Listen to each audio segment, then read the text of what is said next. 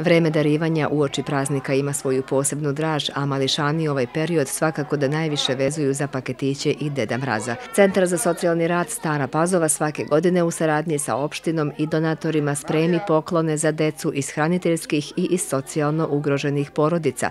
U 42 hraniteljske porodice na teritoriji Staropazovačke opštine nalazi se 80 dece. Oni su dobili i džeparac, a opština će nastaviti i u buduće da podržava porodice koje primaju decu u svoje domove. Opština Stara Pazova uvijek vodi brigu o socijalnim kategorijama i ovako lepo o hraniteljima koji su pružili utočišta ovoj deci bez roditeljskog staranja i normalno da će dalje podržavati. Ova današnja priredba me oduševila, podstakla da promovišem hraniteljske porodice. Nama su potrebne hraniteljske porodice.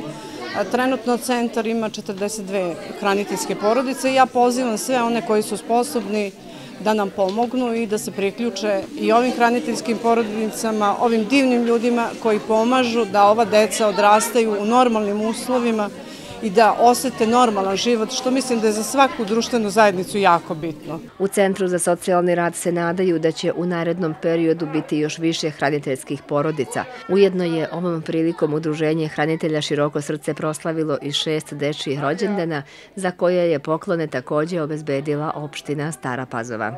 Udruženje je dobiva od kabineta, odnosno od predsjednika opštine, odnosno od kabineta predsjednika opštine, dečje paketiće da podelimo deci tako da će danas djeca imati duple paketiće, odnosno duplo će se radovati. A što se tiče udruženja i kraj godine, mi standardno to održavamo, te skupove zadnje subote u nedelju i zadovoljni smo. Jedino je to sticajem okolnosti, što nemamo sredstva, nismo mogli neke druge aktivnosti, osim ovih redovnih aktivnosti što imamo.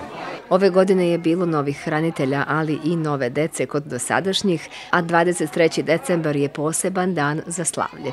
Upravo, evo, sad sam dobio ovaj poruku naša hraniteljica, odnosno potpredsjednica udruženja, kako mi kažemo, porađa se, odnosno otišla je da sačeka dobija dete na hraniteljstvo, dete od tri godine paketići, slatkiši i velika žurka sa Deda Mrazom, tako je izgledalo druženje u klubu za dnevni boravak, a da sve bude još lepše, postarala se grupa Ara iz Beograda sa svojom predstavom Novogodišnja zavrzlama, koju opština Stara Pazova poklanja svim školama na svojoj teritoriji.